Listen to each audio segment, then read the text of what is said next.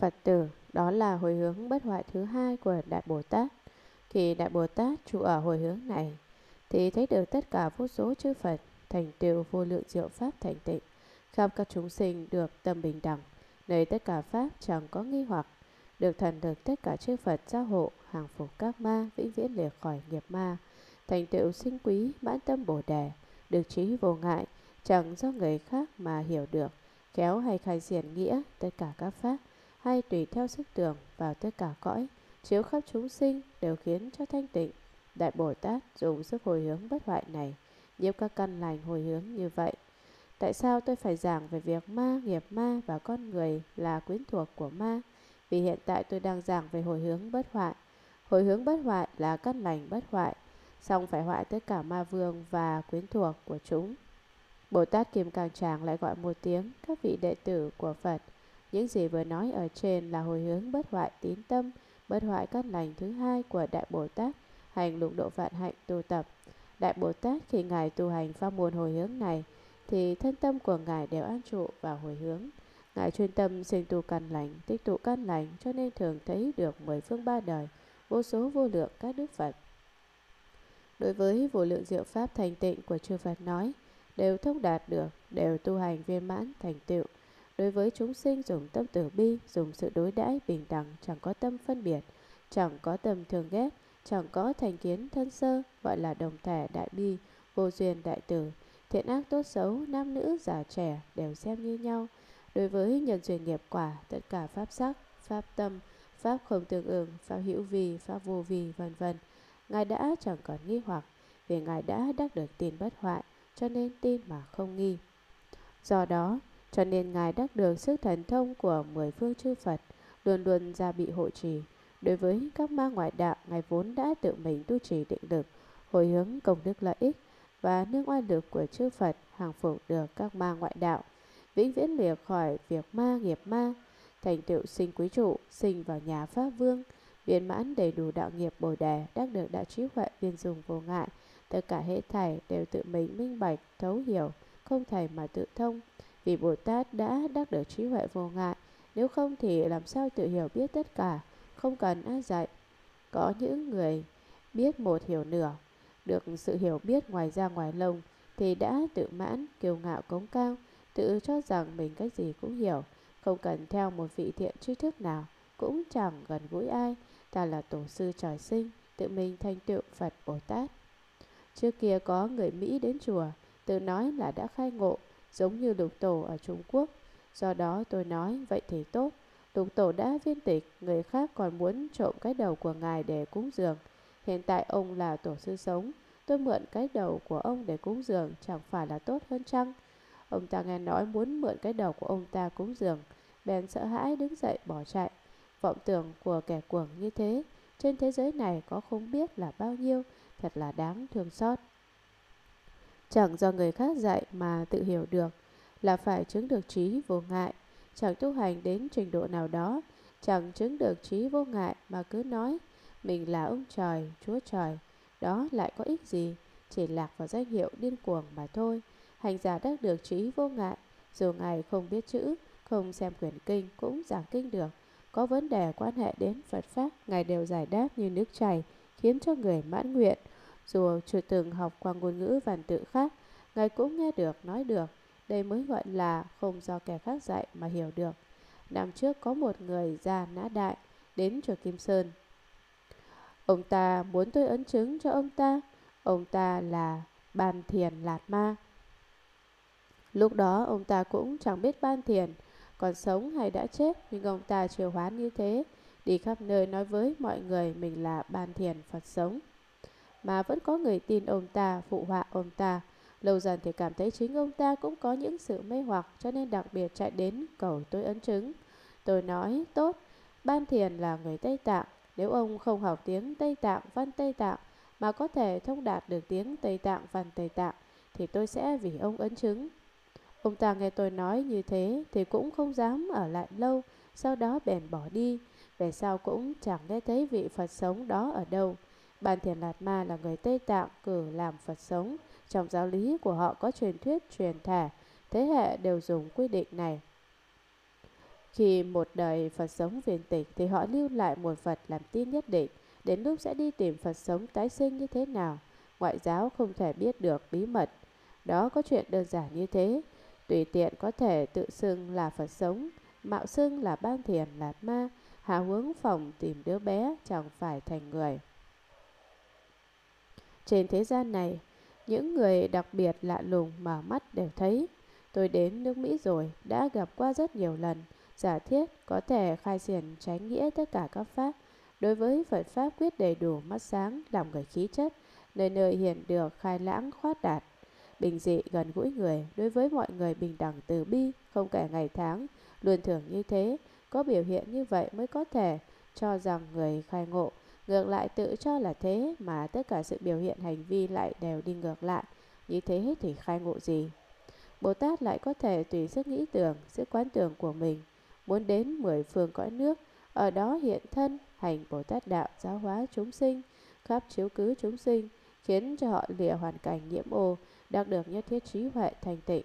Đại Bồ Tát dùng sức lực này tu pháp môn hồi hướng bất hoại, nhiễm thọ hết thầy căn lành của mình, cũng nhiếp thọ căn lành của tất cả chúng sinh, dùng những căn lành này hồi hướng như ở trên đã nói, mà hồi hướng cho chúng sinh, hồi hướng về Bồ Đề, hồi hướng về thật tế.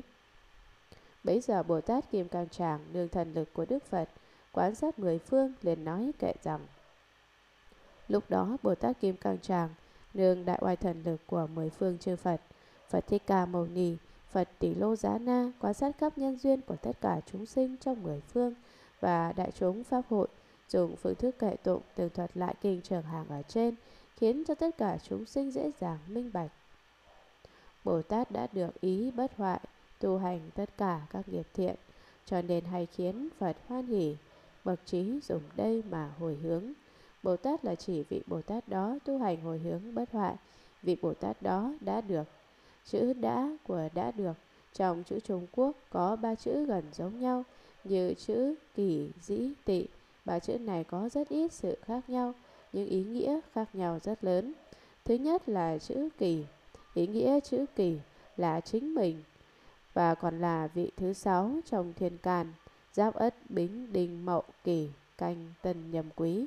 Thiên can là trời xưa Trung Quốc dùng chữ để tính thời, phối hợp với 12 địa chi, tí, xỉu, dần, mẹo, thìn, tị, ngọ, mùi, thân, dậu, tuất, hợi dùng tính niên hiệu.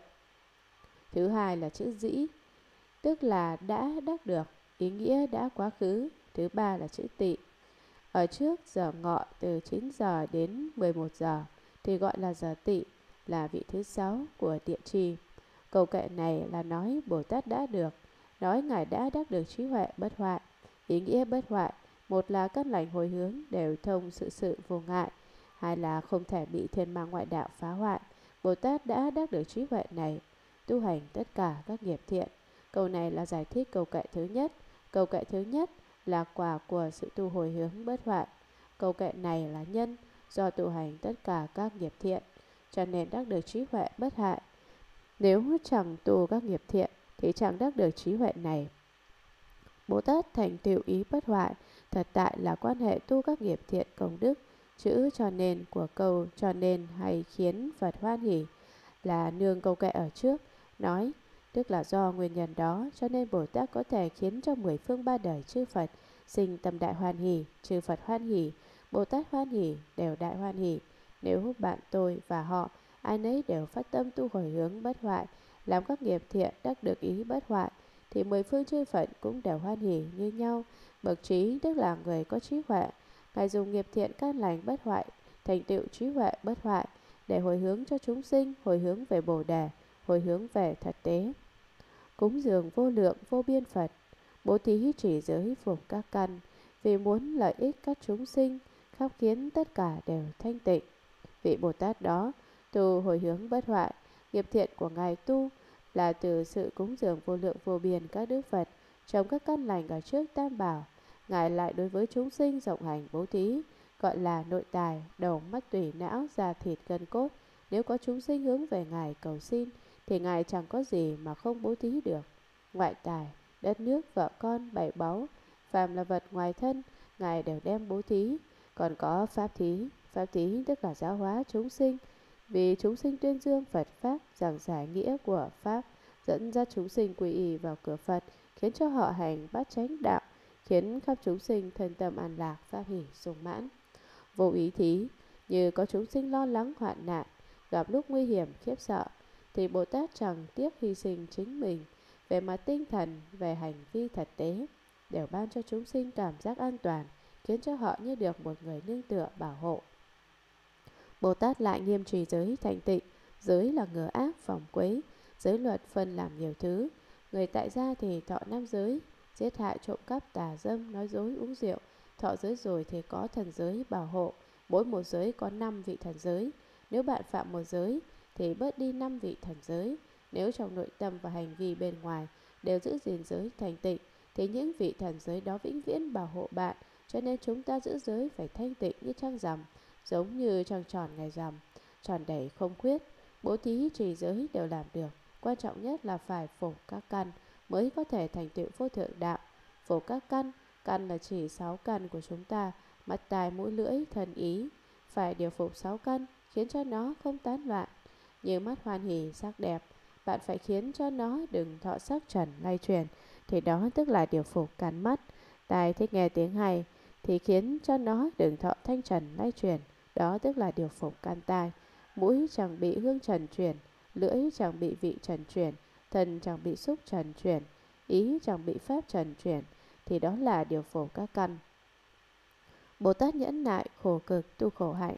Ngài chẳng phải vì mình mà là vì muốn lợi ích các chúng sinh, hy vọng khiến cho chúng sinh đều đắc được trí huệ thanh tịnh, khôi phục nguồn gốc thanh tịnh, tánh diệu trần như. Tất cả các hương hòa thượng diệu, vô lượng y phục tốt khác nhau, lọng báu cùng với đồ trang nghiêm cúng dường tất cả các như lai. Bồ Tát cúng dường phẩm Phật đến mười phương chư Phật, thức ăn, đồ dùng, trang sức, đạo tràng, chẳng có một phẩm vật nào chẳng phải là thượng hạng. Ví như cúng dường hương hoa, thì nhất định phải lựa hoa danh quý, ít có, đẹp đẽ, tươi tốt, hương thơm thanh u. Y phục thì vô lượng vô số loại, đều là phẩm chất thượng hạng. Bồ Tát cúng dường ngoài hương hoa y phục, còn cúng dường lọng bóng, lọng hoa, man lọng, vân vân cùng với các phẩm vật nghiêm sức chân báu trang nghiêm đạo tràng. Bồ Tát đem những phẩm vật ở trên cúng dường mười phương ba đời, tất cả chư Phật. Cúng dường các đức Phật như vậy, vô lượng vô số kiếp khó nghĩ, cung kính tôn trọng thường hoan hỷ, chưa từng một niệm sinh nhà mỏi. Bồ Tát cúng dường mười phương ba đời chư Phật như ở trên đã nói, chẳng phải vui mới cúng dường, còn chẳng vui thì thôi. Bồ Tát vốn ngày nào cũng như thế, năm nào cũng cúng dường như vậy. Trải qua vô lượng vô biên đại kiếp, Ngài cũng chưa từng sinh ra một tâm niệm mệt mỏi nhàm chán. Chuyên tâm tưởng niệm các đức Phật, đèn sáng lớn tất cả thế gian, mười phương hết thảy các như lai, đều chẳng hiện trước như mắt thấy. Vị Bồ Tát này tu pháp môn hồi hướng bất hoại, luôn luôn truyền tâm suy ngẫm ngoài các pháp. Đó là quán tưởng nghĩ niệm đến mười phương chư Phật, vì mười phương chư Phật chiếu sáng tất cả thế gian, khiến cho tất cả thế gian đều sáng lạng, giống như ngọn đèn lớn sáng. Bồ Tát tu hành đạt đến cảnh giới này, không động nơi thân, mười phương ba đời chư Phật, tùy thời đều có thể hiện ra ở trước Ngài, chẳng khác gì thấy ở trước mắt. Vô lượng kiếp không thể nghĩ bàn, bố thí đủ thứ tâm chẳng nhàm, ở trong trăm ngàn vạn ước kiếp, tu các pháp lành đều như vậy. Bồ Tát ở trong vô lượng đại kiếp không thể nghĩ bàn, Ngài tu bố thí đủ thứ chẳng có gián đoạn, bất cứ là nội tài, ngoại tài, pháp thí, vô ý thí. Ngài chưa từng sinh tâm bòn sèn và nhàm chán, Ngài đều bố thí cho người, tuyệt đối chẳng nghĩ đến người khác bố thí cho Ngài, hoặc hy vọng đắc được báo ân như thế nào. Chúng ta người xuất gia tiếp thọ người khác bố thí cho mình, thì mình cũng nên bố thí cho người ít nhiều. Người xuất gia ngàn vạn đừng tham đổ lợi dưỡng, phải học tinh thần bố thí khó xả mà xả được của Bồ Tát. Dù bố thí nhiều, cũng đừng có tư tưởng là đủ. Đừng học lòng tham của quỷ ma, muốn người khác bố thí càng nhiều càng tốt. Bồ Tát ở trong trong ngàn ước kiếp thời gian, Ngài tu đủ thứ pháp lành, đều chẳng có nhàm đủ. Pháp lành là bao quát, làm các việc lành. Bố thí đương nhiên là một trong các pháp lành. Các như lai đó diệt độ rồi, cúng dường sát lợi chẳng nhàm đủ, đều dùng đủ thứ diệu trang nghiêm, kiến lập chùa tháp không nghĩ bàn. Bồ Tát cúng dường chư Phật, công đức viên mãn đầy đủ rồi, nhân duyên hành hóa, đã mãn liền diệt độ, tức là vào Niết Bàn. Nhưng thành ý của Bồ Tát cũng dường chư Phật vẫn không thay đổi. Cúng dường sát lợi của chư Phật cũng như Phật sống chẳng có lúc nào nhàm đủ. Vẫn như xưa, dùng đủ thứ phẩm vật tốt đẹp thượng hạng nhất, tôn trọng cung kính cúng dường và trang nghiêm tháp sát lợi của chư Phật. Khó nghĩ bàn là không thể tính được tài lực khốn khó, cũng không thể khảo lự sức lực của mình có đạt được mục đích hay không. Chẳng mang tất cả, kiến lập chùa tháp là trách nhiệm của mình, lấy việc Hoàng Dương Phật Pháp là nghĩa vụ của mình, cho nên nói kiến lập chùa tháp không nghĩ bàn. Tạo lập hình tối thắng vô đẳng, tạo báu vàng tịnh làm trang nghiêm, cao lớn nguy nga như núi chúa, số đó vô lượng trăm ngàn ức. Bồ Tát phát tâm kiến tạo chùa tháp, số lượng đó nhiều hình dạng thủ thắng, chẳng có chùa tháp nào so sánh được với Ngài. Ngài dùng đủ thứ tặng báu, thuần vòng vàng dòng, có giá trị nhất, trang nghiêm tổ điểm trong ngoài chùa tháp. Chùa tháp cao rộng nguy nga giống như núi chúa Tu Di, chùa tháp như thế chẳng phải chỉ có tạo một hai ngôi mà là tạo vô lượng số trăm ngàn ức. Ngài thấy chỗ nào chẳng có tháp thì tạo một ngôi tháp, chỗ nào chẳng có chùa thì lập một ngôi chùa. Tịnh tâm tôn trọng cúng dường rồi, lại sinh tâm hoàn hỷ lợi ích. Kiếp không nghĩ bản nơi thế gian, cứu hộ chúng sinh khiến giải thoát. Bồ Tát dùng tâm trí thành thanh tịnh, tôn trọng cúng dường trước Phật rồi, sau đó lại sinh tâm hoan hỷ và tâm lợi ích chúng sinh. Bồ Tát trên cúng dường chư Phật, dưới độ tất cả chúng sinh, trừ hai thứ tâm này ra, chẳng có bất cứ tâm niệm nào khác, cho nên chiếm hết tâm từ của Ngài. Bồ Tát tu hạnh Bồ Tát hành Bồ Tát đạo, trong kiếp số không thể nghĩ bàn. Ngài đều ở với chúng sinh tại thế gian này, chẳng phải Ngài tham hưởng vui năm dục của thế gian, mà là muốn cứu độ tất cả chúng sinh thọ khổ nạn, hy vọng những chúng sinh đó đều thoát khỏi sự ràng buộc của khổ đau mà đắc được an lạc chân chánh, tự do tự tại. Nhưng chúng sinh đối với khổ tâm của Bồ Tát đó, một chút cũng chẳng biết, chẳng minh bạch, chẳng thấu hiểu, chẳng biết lấy ân báo đức, cho nên làm cho Bồ Tát khổ nhọc bồn ba ở trong sáu nẻo. Nhìn lại Bồ Tát chẳng có tri âm đồng đạo, giống như chẳng hòa hợp, nhưng tâm cứu hộ chúng sinh của Bồ Tát vĩnh viễn chẳng nhàm mỏi, vĩnh viễn chẳng thối chuyển. Có rất nhiều người nhận rằng làm Bồ Tát quá khổ cực, chẳng bằng quỷ, còn tốt hơn một chút. Các bạn có thể suy nghĩ lại xem cứu kính thì làm gì tốt. Biết rõ chúng sinh đều vọng tưởng, nơi đó tất cả không phân biệt, mà khéo phân biệt căn chúng sinh, khác vì quần sinh làm lợi ích. Nếu bạn có tư tưởng làm quỷ tốt hơn làm Bồ Tát, đó tức là vọng tưởng ngu si của chúng sinh. Làm Bồ Tát khiến cho chẳng có ai thấu hiểu được, biết được về mình. Ngài vẫn muốn làm Bồ Tát. Còn làm quỷ thì sẽ có rất nhiều người nhận thức được họ. Lại có bao nhiêu quỷ biết mình đồng bạn. Họ vẫn là quỷ. Bồ Tát minh bạch trên thế gian đủ thứ chúng sinh đều là vọng tưởng sinh ra. Ý thức của chúng sinh, tức là từ các vọng mà thành. Chúng sinh từ hư vọng mà sinh, lại từ hư vọng mà chết. Bạn thấy có người muốn học bác sĩ thành chuyên gia, nỗ lực hết mình muốn thành công đột nhiên lại chết đi. Những giờ học lúc còn sống, tất cả những gì hiểu biết, chết rồi thì chẳng còn nữa. Nếu được chuyển lại, làm thân người lại phải học lại từ đầu. Giống như một thanh sắt, bỏ vào trong lò lửa rèn luyện, luyện tới luyện lui, đang lúc luyện tốt thì lại chết đi. Đó tức là so sánh như chúng sinh ở trong vọng tưởng đang sang, mà vọng tưởng cuối cùng thì huyễn diệt. Tuy nhiên như thế, Bồ Tát đối với chúng sinh đều chẳng xả bỏ.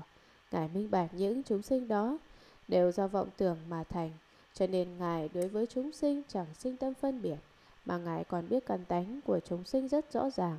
Đối với căn tánh của chúng sinh mà dùng đủ thứ phương pháp phương tiện khéo léo để giáo hóa, tiếp dẫn họ, người căn tánh đã thành thục thì độ họ trước, người cơ duyên chưa thành thục thì đợi sẽ độ sau. Bồ Tát đối với chúng sinh chẳng sinh tâm phân biệt thân sơ thường ghét, các vì những chúng sinh đó làm việc có ích cho họ. Bồ Tát tu tập các công đức, rộng lớn tối thắng chẳng ai bằng, thấu đạt thể tánh đều chẳng có, như vậy quyết định đều hồi hướng. Vị Bồ Tát này tu hồi hướng bất hoại, Ngài đối với nghiệp thiện chẳng mạng lớn nhỏ đều làm hết, tích tụ công đức lớn nhỏ lâu dần sẽ vô lượng vô số rộng lớn thủ thắng. Chẳng có Bồ Tát nào có thể so sánh với Ngài. Bồ Tát thấu rõ thông đạt hết thảy tất cả, đều là hư vọng, chẳng có thể tánh, đều là không. Tuy nhiên như vậy, Ngài vẫn quyết định đem căn lành công đức tu tập, hồi hướng hết cho Pháp giới chúng sinh vô thượng Bồ Đề và hồi hướng về thật tế chân thật. Dùng trí tối thắng quán các Pháp, trong đó chẳng có một Pháp sinh, như vậy phương tiện tu hồi hướng, công đức vô lượng không cùng tận. Bồ Tát tu pháp môn hồi hướng bất hoại, Ngài dùng trí huệ kim cang kiên cố nhất, thủ thắng nhất để quan sát tất cả các pháp, pháp sắc, pháp tâm, pháp tầm sở, pháp bất tương ưng, pháp hữu vi, pháp vô vi. Bồ Tát quan sát tỏ ngộ đủ thứ pháp đều là không sinh, vì các pháp tùng bổn lai, thường tự tịch diệt tướng. Tất nhiên là tướng tịch diệt vắng lặng, cho nên chẳng thấy có chút pháp sinh, cũng chẳng thấy có chút pháp diệt. Vậy tại sao còn phải tu pháp hồi hướng? Vì giáo hóa chúng sinh tiếp dẫn họ vào sâu cửa Phật, tin sâu tất cả chánh pháp của chư Phật nói, phát tâm Bồ Đề, hướng về thánh đạo tối thượng, mà dùng đủ thứ phương pháp phương tiện, tu pháp môn hồi hướng này. Tuy nhiên các pháp là không sinh không diệt, nhưng công đức tu hành vẫn không tổn giảm. Nói tóm lại, công đức chẳng lãng phí, đem công đức của mình hồi hướng cho pháp giới chúng sinh, khiến cho chúng sinh đắc được lợi ích. Thành tựu công đức Bồ Đề thì lợi ích đó không thể cùng tận. Dùng phương tiện này khiến tâm tịnh đều đồng với tất cả như lai, sức phương tiện này không cùng tận, cho nên phước báo rất vô tận. Bồ Tát tu hồi hướng ở trên đã nói qua, đây là pháp phương tiện, là vì dẫn dắt chúng sinh tu học Phật Pháp, khiến cho chúng sinh đều có thể xả lìa được tâm ô nhiễm, đắc được tâm thành tịnh, có thể trở về nguồn cội, hiển pháp tánh chân thật, thành tựu trí huệ vô thượng. Nếu cảnh giới tu hành có thể đạt đến trình độ này, thì sự chứng đắc thần thông trí huệ đều có thể bình đẳng với chư Phật, đồng với chư Phật cùng ngồi một Phật tòa, sức lực pháp môn phương tiện, chẳng cách chi độ lượng được, chẳng có bờ mẽ không thể cùng tận, do đó đắc được phước báu, cũng chẳng có khi nào cùng tận. Pháp phương tiện là nhờ đủ thứ nhân duyên, lợi dụng đủ thứ ngôn từ, cử ra đủ thứ ví dụ để vì chúng sinh dễ nói các pháp. Phát khởi tâm Bồ Đề vô thượng, tất cả thế gian chẳng chỗ nương, đến khắp mười phương các thế giới, mà nơi tất cả chẳng chỗ ngại. Bồ Tát tu hồi hướng bất hoại, Ngài phát đạo tâm Bồ Đề vô thượng, chẳng có ai phát đạo tâm cao hơn Ngài. Trong tất cả thế gian, chúng sinh tìm chẳng được nơi nào, hoặc người nào có thể nương tựa được. Chỉ có vị Bồ Tát này phát tâm Đại Bồ Đề mới là chỗ chân chánh nương tựa của chúng sinh. Khi Bồ Tát hành Bồ Tát đạo, thì Ngài chẳng giới hạn một nơi nào. Ngài phát tâm Bồ Đề là muốn đến mười phương thế giới, cứu độ khắp tất cả chúng sinh thọ khổ. Bồ Tát đã đắc được trí huệ viên dung, lại có đủ thứ pháp môn phương tiện, cho nên Ngài có thể đến bất cứ thế giới nào, cũng chẳng bị chút chướng ngại nào, cũng chẳng bị bất cứ cảnh giới nào lay truyền. Bồ Tát vẫn phải chuyển biến tất cả cảnh giới. Tất cả như lai hiện ra đời, vì muốn khai đạo tâm chúng sinh, như tâm tánh họ mà quan sát, rốt ráo tìm cầu không thể được. Nhân duyên chư Phật xuất hiện thế gian ở trong kinh Diệu Pháp Liên Hoa, Đức Phật Thích Ca Mâu Ni đã từng nói với đại chúng trong Pháp hội rất rõ ràng. Ngài nói tại sao chư Phật phải xuất hiện ra đời. Một, vì muốn khai phát Phật tánh của chúng sinh bị năm dục che đậy, khiến cho chúng sinh đều đắc được trí huệ thanh tịnh. Hai, muốn chỉ bày cho chúng sinh, khiến cho chúng sinh biết cũng có tri kiến như Phật. Ba, muốn giáo hóa chúng sinh, khiến cho chúng sinh đều minh bạch tri kiến của Phật và giác ngộ tri kiến của Phật. Minh bạch rồi thì sẽ sinh tâm tin, giác ngộ rồi thì sẽ thực tiễn tu trì. 4. Muốn khiến cho chúng sinh vào sâu trong Phật giáo, y giáo phụng hành, đắc đại trí huệ, nhập vào đạo vô thượng, vĩnh viễn chẳng thối truyền. Vì những nhân duyên đó, chư Phật mới xuất hiện ra đời. Bốn điều khai thị ngộ nhập là tổng hợp mà nói, tức là vì khai phát tâm trí của chúng sinh khiến cho thanh tịnh mà phát tâm Bồ đề, hướng dẫn hành vi của chúng sinh khiến cho chúng sinh xả lìa nam dục, hành thập thiện, cuối cùng thành tựu Phật quả. Đó là mục đích và hy vọng của chư Phật xuất hiện ra đời. Bồ Tát căn cứ vào tâm tánh của chúng sinh mà quan sát tâm tánh của họ. Ngài biết rõ tâm của chúng sinh không thể được. Tại sao? Vì tâm quá khứ, quá khứ đã diệt. Tâm vị lai, vị lai chưa đến. Tâm hiện tại, hiện tại không tịch. Tam tế cầu tâm, rốt giáo không thể cầu được.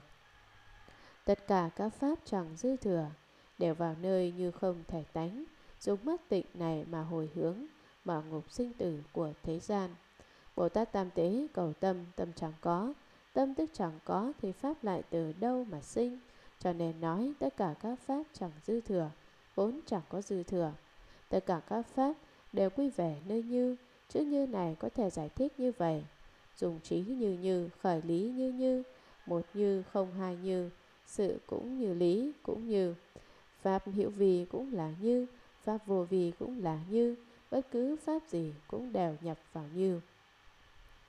Ngoài ra có chút giải thích nữa, như tức là vắng lặng, vắng lặng thì chẳng có thể tánh, cho nên các Pháp chẳng có dư thừa, là vì nó chẳng có thể tánh. Bồ Tát minh bạch thâm sâu đạo lý này, dùng tâm thanh tịnh, mắt thanh tịnh của Ngài, chẳng chấp trước, chẳng nương tựa tu pháp hồi hướng này, dùng sức lực tinh thần vô hình này, phá tất cả lao ngục sinh tử trên thế gian. Năm dục hoạn nạn đều có thể coi là lao ngục sinh tử.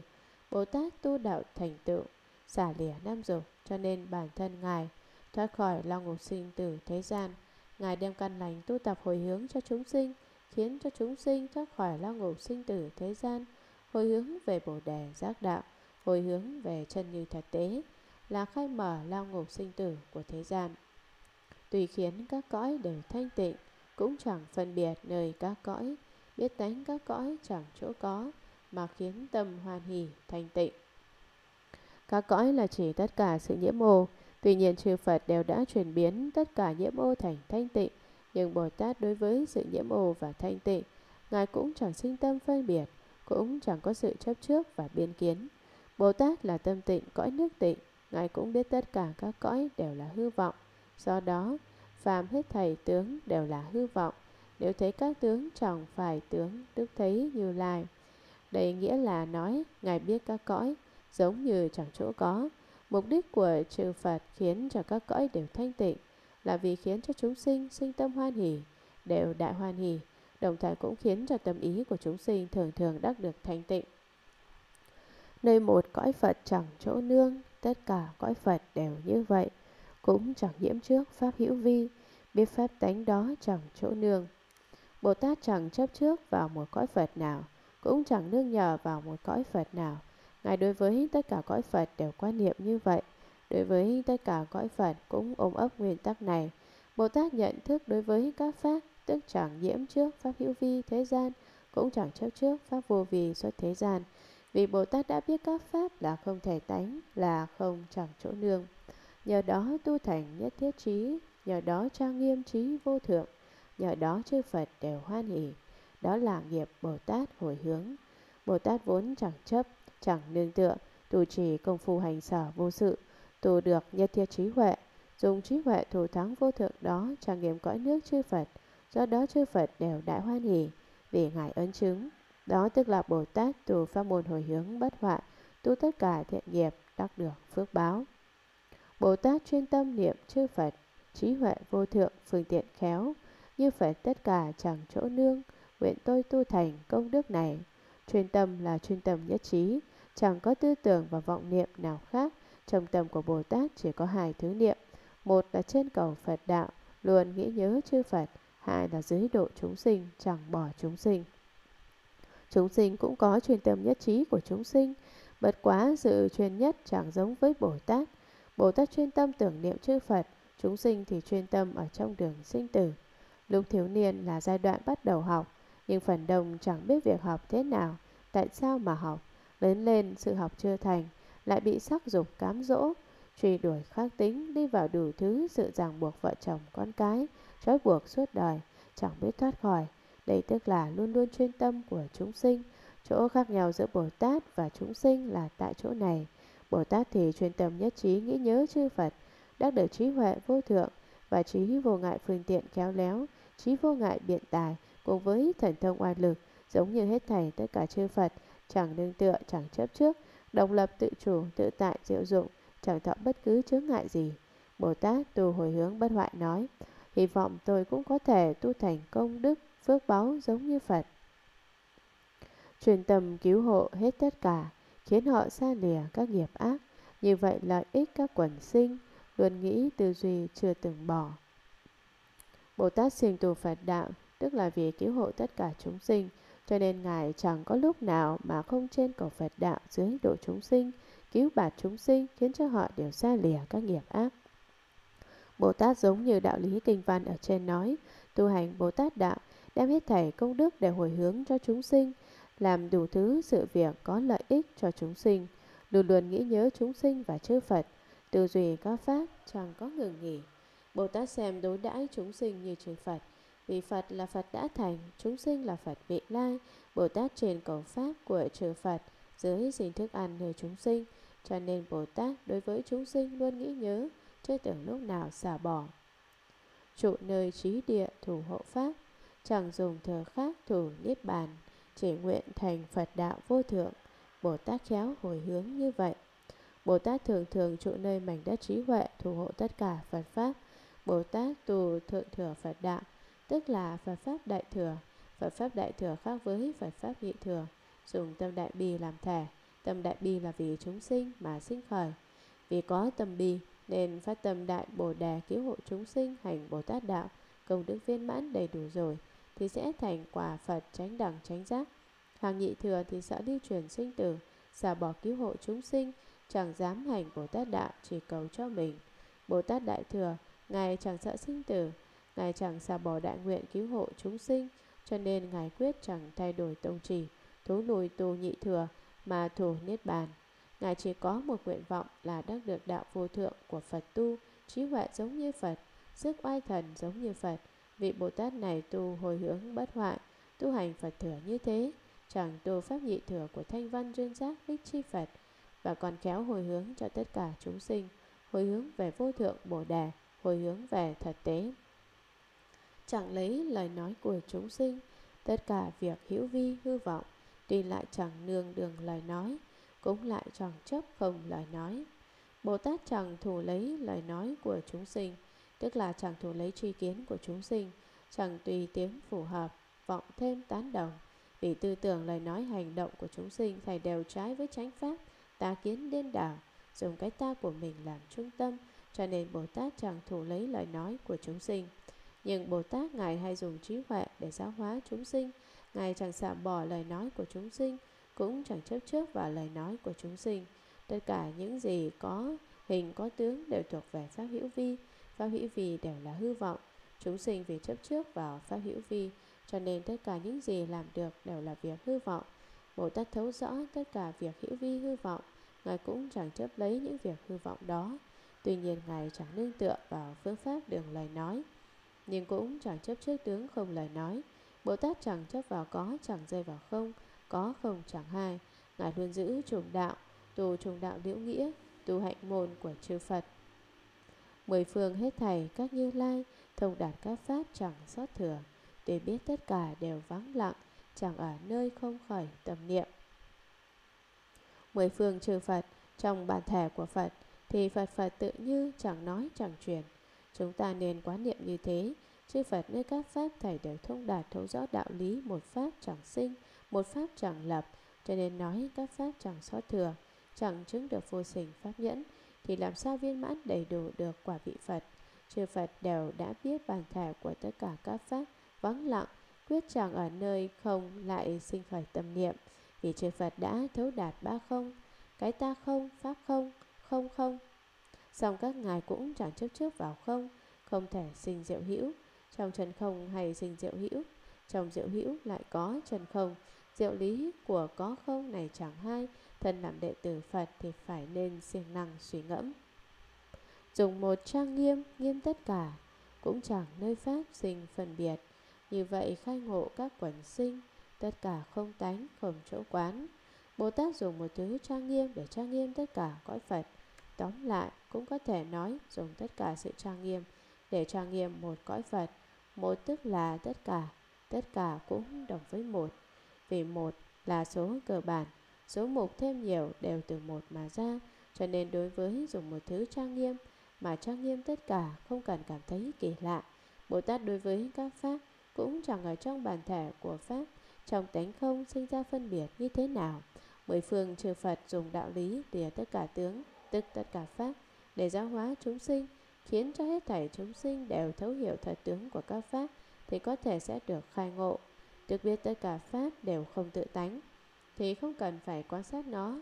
Bồ Tát nói đạo lý cảnh giới này Là đã đã đến giai đoạn chốt giáo. Đừng nói là một số phàm phu mới học Cũng có thể như vậy. Dù phàm phu tăng mới phát tâm Cũng không thể làm như vậy được. Chưa đạt đến sự chốt giáo Thì vẫn phải dùng trí huệ quan sát Nghiên cứu thật tướng của tất cả các Pháp Mới có thể minh bạch chân đế của Phật Pháp.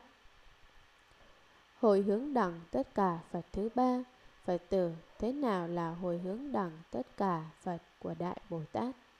Bồ Tát Kim Cang Tràng nói xong bài kệ ở trước rồi, Lại gọi một tiếng các vị đệ tử của Phật, Thế nào là Đại Bồ Tát tu đẳng tất cả chư Phật tu pha môn hồi hướng? Phật tử Đại Bồ Tát này tùy thuận tu học đạo hồi hướng của chư Phật Thế Tôn quá khứ, vị lai và hiện tại khi tu học đạo hồi hướng như vậy, thì thấy tất cả sắc cho đến xúc pháp, hoặc tốt hoặc xấu, chẳng sinh thương ghét, tâm được tự tại, chẳng có các lỗi lầm. Rộng lớn thanh tịnh, hoan hỷ, vui thích, lìa các ưu phiền, tâm ý nhu nhuyến các căn mát mẻ. Bồ tát kim cang tràng đưa ra câu hỏi ở trên rồi, lập tức giải thích như sau. Ngài nói, các vị đệ tử của phật, các vị có thể biết vị đại bồ tát này. Vị đại bồ tát tu pháp môn hồi hướng đẳng tất cả phật Ngài tùy thuận sự chỉ dạy của chư Phật tu học đạo hồi hướng của ba đời chư Phật tu, tức là đạo hồi hướng quá khứ chư Phật đã tu, đạo hồi hướng chư Phật hiện tại đang tu và đạo hồi hướng chư Phật vị lai sẽ tu. Khi Ngài tu học quá trình đạo hồi hướng này thì Ngài đối với tất cả sắc cho đến xúc pháp, bất luận là sắc tốt, tốt hoặc sắc xấu, tiếng hay, tiếng dở, mùi thơm, mùi hôi, vị ngon, vị dở, xúc tốt, xúc dở, pháp lành, pháp ác, đều chẳng làm cho Ngài sinh ra tâm thường ghét và thích chán. Bồ Tát an trụ vào tu học đạo hồi hướng trong bị cảnh giới sáu trần lai truyền, đó tức là ý nghĩa. Người truyền được cảnh giới, cảnh giới không truyền được người. Phải làm thế nào để đến được trình độ này? Phải điều phục sáu căn, khiến cho sáu căn chẳng chuyển theo sáu trần. Sáu càn sáu trần không thể hợp tác với nhau thì sẽ chẳng sinh ra tác dụng. Như thế thì thấy mà không thấy, nghe mà không nghe, như như chẳng động, thì làm sao mà lay động được vị Đại Bồ Tát đó, tu đạo hồi hướng đẳng tất cả Phật. Cho nên lúc đó Ngài hoặc tốt hoặc xấu, chẳng sinh thương ghét, tâm được tự tại. Nhưng nếu như chẳng điều phục sáu căn, khiến cho sáu căn sáu trần hợp tác với nhau, liền sinh ra sáu thức, lúc đó nó sẽ làm chủ nhân ông trong tâm của bạn, tất cả đều do nó theo đuổi chi phối.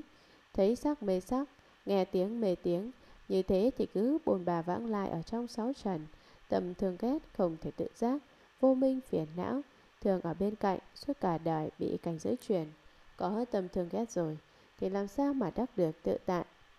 Hiện tại chúng ta biết được nguyên nhân tại sao Bồ Tát tâm được tự tại, là vì Ngài chẳng động tâm, chẳng động tâm thì chẳng sinh thường ghét, thì tâm sẽ được tự tại. Tự tại, hai chữ này Hàm ý bao quát nhìn xuyên thủng buông xả đặng Chẳng chấp, chẳng động, tâm niệm. Chẳng bị thất tình, lay truyền Chẳng bị năm dục mê hoặc. Nếu sáu căn an ổn thì tâm luôn thanh tịnh. Ý thường hoan hỉ vui thích, thân thể nhu nhuyễn. Thái nhiên, cử chỉ an tưởng, hòa duyệt. Đối người tiếp vật khiến cho người ưa gần gũi Chẳng có tơ hào yêu sầu phiền não. Vị đại Bồ Tát này tu hồi hướng đẳng tất cả Phật, Vì tâm được tự tại, cho nên Ngài đã lìa các lỗi lầm. Chẳng có lỗi gì có thể nói. Tâm ý của Ngài thanh tịnh rộng lớn như hư không? Niềm hoan hỷ vui thích tràn đầy thân tâm của Ngài. Tất cả sự yêu sầu khổ não đều tiêu mất chẳng còn nữa. Vì Ngài tâm ý như nhuyến Các căn rất mát mẻ, Chẳng có hiện tượng nhiệt não sinh khởi. Bồ Tát luôn luôn ở trong cảnh giới này, Vĩnh viễn chẳng biến đổi. Tất cả dục niệm cũng vĩnh viễn chẳng sinh ra nữa Chẳng giống như một số phàm phu Khi tỉnh chẳng tự tại Thì phát điên phát cuồng thậm chí có thể làm ra việc xấu. Bình thường thấy chẳng được bộ mặt thật cùng nhau hiện ra khiến cho người sợ hãi mà bỏ chạy. Bồ Tát tu đạo xa lìa nỗi lầm và yêu phiền, luôn ở trong tam muội thường lạc ngã tịnh. Ngài chẳng nhập vào cảnh giới sắc thành hương vị xúc pháp, chẳng những chẳng bị cảnh giới sáu trần lai truyền, mà còn chuyển được cảnh giới sáu trần, đắc được sáu căn dụng tự tại với nhau, giống như căn mắt vốn chỉ có thể nhìn sự vật, hiện tại lại có thể thấy nghe người nếm giác chi. Căn mắt này tác dụng được năm căn khác kia. Căn tài cũng như thế, mũi lưỡi thân ý các căn cũng đều như vậy. mỗi căn đầy đủ công năng của sáu căn. Nguồn gốc sáu căn chỉ có sáu tác dụng. Hiện tại một căn mà tác dụng với nhau hết sáu căn, tăng lên đến 36 thứ công dụng. Đây chẳng phải là việc mà phàm phu tưởng tượng đến được. Cảnh giới này gọi là thù nhiếp bình đẳng không hai. Đối với sáu trần chẳng sinh phân biệt, chẳng có tốt xấu, thơm thối hay dở đủ thứ phân biệt. Đây tức là chẳng nhập vào sắc thanh hương vị xúc pháp, tức cũng là nhập vào dòng thánh nhân pháp tánh, ngược lại dòng phàm phu sáu trần đã đắc được tự tại vô ngại của pháp tánh. Sự diệu dụng không thể nghĩ bản này, đáng tiếc chúng ta phàm phu chẳng có đắc được. Ở trong sự hồ đồ thấy được tâm ý sáu trần của mình, lập tức sinh ra tâm thương yêu, luyến ái chẳng xả bỏ, thấy được sáu trần chẳng hợp ý mình thì sinh chán ghét, phiền não hoàn toàn bị sáu trần lay truyền. Ví dụ, giống như nhiều người tụ lại ở đây với nhau, ăn vật ăn cũng vậy, sở thích mùi vị của mỗi người đều khác nhau, cùng nhìn một sự vật mà chỗ ưa thích của mỗi người đều khác nhau, cùng nghe một âm thanh mà cảm giác của mỗi người cũng khác nhau. Xem hoa thường trăng, tâm tình của mỗi người cũng khác nhau, đủ thứ loại cảnh giới đều có sự phản ứng chẳng giống nhau, mà chỉ chấp vào một mặt. Đó chẳng phải là sáu trần, có mỗi sự biến hóa, mà là chủ quan tác dụng của mỗi người, tức cũng là do có tâm thương ghét, chẳng đắc được tự tại, vì không thể đi ngược lại dòng sáu trần. Các vị Đại Bồ Tát tổ pháp môn hồi hướng đằng tất cả Phật, các ngài chẳng bị cảnh giới sáu căn sáu trần sáu thước lay truyền, vì các ngài chẳng sinh thương ghét nên tâm được tự tại. Nếu chúng ta cũng muốn đắc được cảnh giới tự tại này, thì phải thường tu phạm hạnh giữ giới thanh tịnh, do giới sinh định, do định sinh huệ, sau đó sẽ đạt đến cảnh giới.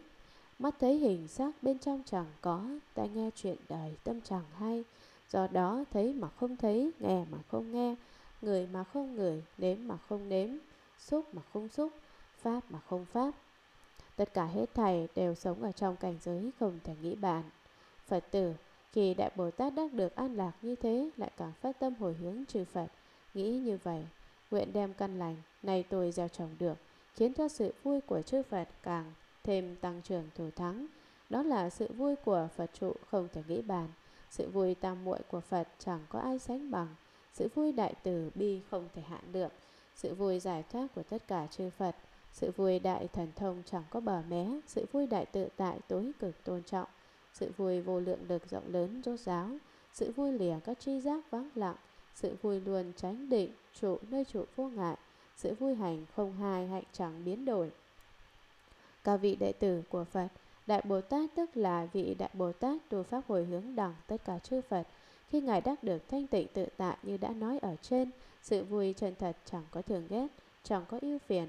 Ngài cảm giác được sự an vui của chư Phật ban cho, vì Ngài cung kính tôn trọng chư Phật, cảm kích ân đức chư Phật, cho nên nguyện ý đem căn lành công đức của mình tu tập được, hồi hướng cho mười phương chư Phật, tăng thêm sự vui của Phật. Kỳ thật chư Phật chẳng có vị nào mà chẳng đầy đủ phước đức, công hạnh viên mãn. Đây là biểu thị tâm trí thành khẩn thiết chân thật của Bồ Tát mà thôi. Chư Phật vốn có đủ sự vui thủ thắng. Như này Bồ Tát đem căn lành trồng được hồi hướng về chư Phật, khiến cho sự vui của chư Phật lại càng tăng thêm thủ thắng. Do đó, Ngài phát tâm hồi hướng cho Phật, mười thứ vui đắc được dưới đây. một Sự vui của Phật tu, chỗ Phật trụ không thể nghĩ bàn. hai Sự vui tam muội vô thượng của chư Phật chứng được, chẳng có ai có thể sánh bằng. ba Sự vui đại tử bi của Phật chẳng có hạn lượng. bốn Sự vui giải thoát tự do an tường, vô cầu vô thúc của mười phương ba đời chư Phật tu chứng được năm Sự vui đại thần thông nhậm vận tự tại, rộng lớn vô biên của chư Phật do có trí huệ thành tịnh. 6. Sự vui đại tự tại của chư Phật đã đạt đến tột đỉnh cùng cực mà lại thọ người tôn trọng kính ngưỡng bậc nhất. 7. Sự vui thập lực của chư Phật, một thứ thần lực đã oai đức rộng lớn rốt ráo. 8. Sự vui của chư Phật vắng lặng, lìa khỏi các tri giác, vượt qua thấy nghe giác chi chẳng nhập vào thanh hương vị xúc pháp. 9. Sự vui thiền duyệt, luôn ở trong chánh định, trụ ở chỗ trụ chẳng có chướng ngại. 10. Sự vui của chư Phật tu hành công đức viên mãn, dứt hẳn hai hạnh, đó là hạnh thấy và hạnh ái, đắc được kim càng bát nhã. Trụ nơi pháp môn không hai chẳng biến đổi. Ở trên là mười thứ an vui của Phật. Bồ Tát đều hồi hướng, nguyện đem đủ thứ sự vui này đều làm cho tăng thêm thù thắng vô lượng vô cùng. Phật tử Đại Bồ Tát đem các căn lành hồi hướng cho Phật rồi, lại đem căn lành này hồi hướng cho Bồ Tát. Đó là nguyện người chưa viên mãn thì khiến cho viên mãn, người nào tâm chưa thanh tịnh thì khiến cho được thanh tịnh, người nào chưa đầy đủ các ba la mật thì khiến cho được đầy đủ tâm an trụ vào kim cang bồ đề, nơi nhất thiết trí được không thối chuyển, chẳng xả bỏ đại tinh tấn, thủ hộ môn bồ đề tất cả căn lành, hay khiến cho chúng sinh xả lẻ ngã mạn, phát tâm bồ đề, sở nguyện thành tựu viên mãn, an trụ vào chỗ trụ của tất cả Bồ Tát, đắc được căn lành minh lợi của Bồ Tát, tu tập căn lành chứng nhất thiết trí. Bồ Tát Kim Cang Tràng lại gọi một tiếng các vị đệ tử của Phật. Đại Bồ Tát đem căn lành của Ngài tu hồi hướng cho chư Phật rồi, sau đó lại đem căn lành của Ngài tu hồi hướng cho các Bồ Tát khác. Nội dung của Ngài là hồi hướng